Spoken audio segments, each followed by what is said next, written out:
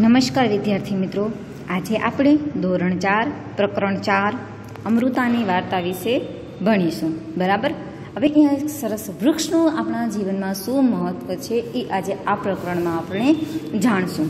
તો ઘણા વર્ષ પહેલાંની વાત છે કે રાજસ્થાનમાં જોધપુરમાં આવેલું છે, એની નજીક ખેજડી નામનું એક ગામ છે. ગામનું નામ ખેજડી કેમ પડ્યું હશે ખબર છે તમને? તો ગામમાં ખેજડીના વૃક્ષો ઘણા હતા. ખેજડી એક પ્રકારનો વૃક્ષ છે, વિદ્યાર્થી મિત્રો, જે કાંટાળું છે, બરાબર? એટલે ગામનું નામ ખેજડી પડી ગયું. ગામના લોકો ઝાડવા અને પ્રાણીઓને પ્રેમ કરતા હતા. તેઓ કહેતા, વૃક્ષો છે તો જ આપણે છીએ. વિદ્યાર્થી મિત્રો, અહીં આ ગામમાં વૃક્ષને લોકો બહુ પ્રેમ કરતા હતા. હવે આપણે જોઈએ કે અમૃતા અને તેના મિત્રો વિશે. તો અમૃતા સવારે વહેલી ઉઠી જાય છે, પોતાના વૃક્ષો પાસે જઈ અને વહાલ કરે છે. રોજ નવા વૃક્ષો પાસે જાય છે. એને ભેટે અને કહે છે, અરે, તું મજબૂત છે, તું ખૂબ સુંદર છે. અમને સંભાળે છે. હું તને ખૂબ પ્રેમ કરું છું. મને તારા જેવી જ બનાવ. અહીંયા અમૃતાની વાત કરવામાં આવી છે કે અમૃતાએ પોતાના વૃક્ષથી ખૂબ લગાવ છે. સવારના ઉઠી અને વૃક્ષને ભેટી પડે છે અને એની સાથે વાતો કરે છે. જો તમે ચિત્રમાં જોઈ શકો છો કે અમૃતા વૃક્ષને કેવી વળગી અને તેની સાથે રમત રમે છે. તો અમૃતાની જેમ બીજા ઘણા બાળકો પણ ખાસ વૃક્ષો હતા.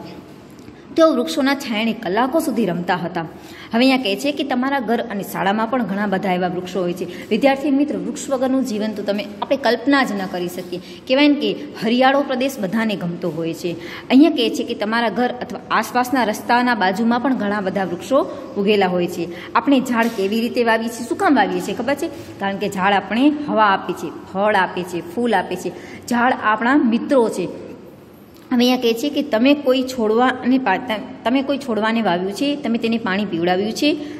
હવે અહીંયા કહે છે કે તમે વૃક્ષો પર કોઈ ફળ જોયા છે? હા, તમારી આજુબાજુ ઘણા બધા એવા વૃક્ષો હોય છે, જેના સિઝન પ્રમાણે, જેને ઋતુ પ્રમાણે એની ઉપર ફળ થતા હોય છે. અહીંયા કહે છે કે લલિતાને લાગે છે કે તેની શાળાના દિવાલ પર ઘાસ અને નાના છોડવા ઉગ્યા છે. જે જોઈને વાવ્યા નથી.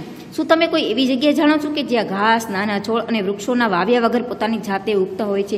હા, વિદ્યાર્થી મિત્રો આપણી આજુબાજુ ઘણા બધા એવા નાના નાના ઘાસ હોય છે જે આપણે વાવતા નથી, છતાં પણ ઉગી નીકળે છે. તો આ કેવી રીતે બનતા હશે તમને ખબર છે?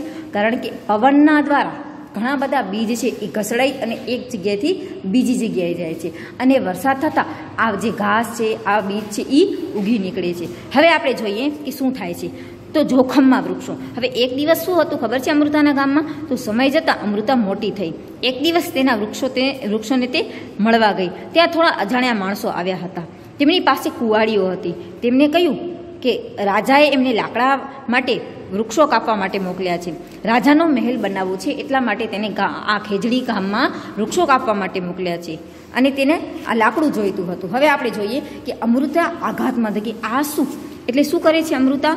તો પેલા માણસોને કાપવા, કાપવાના હતા, તે વૃક્ષો પાસે લઈ ગઈ. તેણે થળની આજુબાજુ હાથ મૂકી અને વૃક્ષને બાથમાં લઈ લીધું. જો વિદ્યાર્થી મિત્રો, ઓલો વૃક્ષ કાપે છે, તો અમૃતા એ બાથમાં ભીડી અને વૃક્ષને બચાવે છે.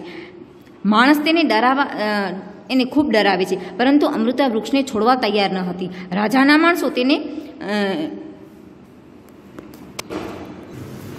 રાજાના માણસોને રાજાનો હુકમ માનવો હતો. એટલા માટે તેઓએ વૃક્ષો કાપવાના હતા. આ જોઈને અમૃતા અને છોકરીઓ અને ગામના સો જેટલા ઘરડા અને યુવાન માણસો વૃક્ષોના રક્ષણ માટે તેમને બાથ ભરી ભરી અને વૃક્ષોને બચાવે છે. અમૃતા અને તેની છોકરીઓ આ વૃક્ષો સાથે બચાવવામાં પણ લોકો મરી ગયા. શું થાય છે વિદ્યાર્થી મિત્રો?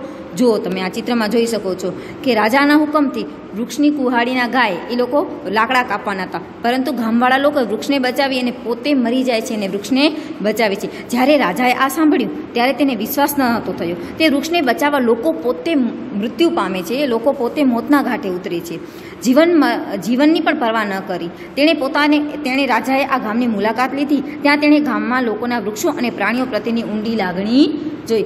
ત્યારે રાજાને ખબર પડી કે આ ખરેખર ગામના લોકો છે, એ વૃક્ષને બહુ પ્રેમ કરે છે. એટલે તમને ખબર છે શું કર્યું એને? કે એમને વડી અને કોઈ દિવસ આ ગામમાં વૃક્ષો ન કાપવાનું ફરમાન કર્યું. અહીંયા કહે છે કે શું તમને યાદ છે કે આ ગામના વડીલો શું કહેતા હતા? શું આપણે વૃક્ષો અને પ્રાણીઓ વગર રહી શકીએ? તમારા વર્ગખંડમાં ચર્ચા કરો. ના, આપણે વૃક્ષો અને પ્રાણીઓ વગર રહી શકીએ નહીં. આપણું આખે આખું જીવન છે વૃક્ષો અને પ્રાણીઓ ઉપર જ નિર્ભર છે. હવે આપણે અગાઉના પ્રકરણમાં જોઈશું કે રાજા મહેલ બનાવે છે કે નથી બનાવતા.